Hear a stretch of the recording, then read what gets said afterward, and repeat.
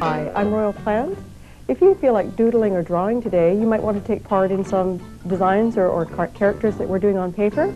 Um, today I'd like especially to do it for Christy, uh, who's a good friend of mine, and there may be some other Christies out there.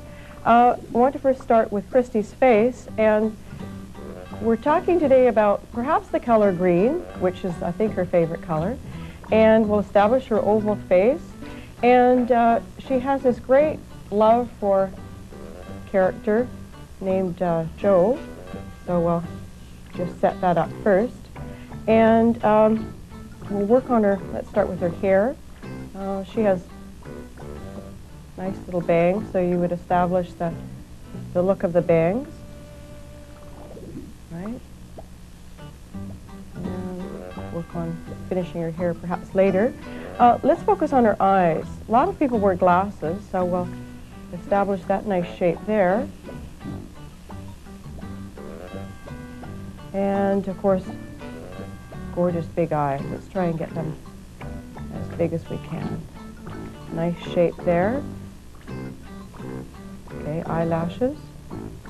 And she's looking at the poster. And so we'll establish her looking at the poster. Um, let's, let's have her winking for a change, just because she's thinking about this person in the poster. She's got a cute little nose.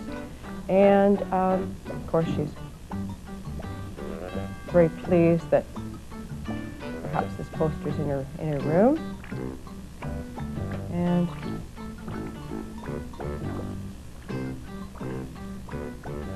go from there. Let me um, finish this. And while I'm finishing this uh, particular drawing, uh, we'll listen to Lois Walker, who perhaps has a song that matches what I'm trying to draw here. When Irish eyes are smiling, sure it's like a morning spring. In the lilt of Irish laughter, you can hear the angels sing. When Irish hearts are happy, all the world seems bright and gay. And when Irish eyes are smiling, sure they steal your heart away.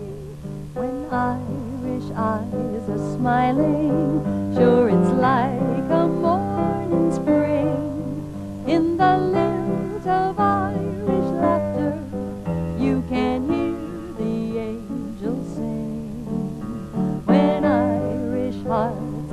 happy, all the world